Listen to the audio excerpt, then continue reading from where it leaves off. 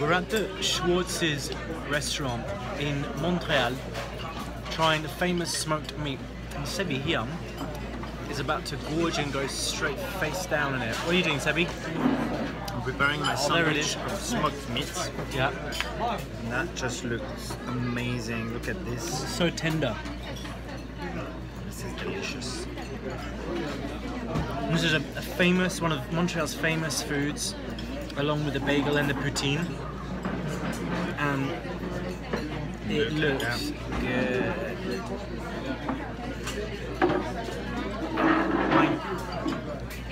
Cheers, Seb. Cheers.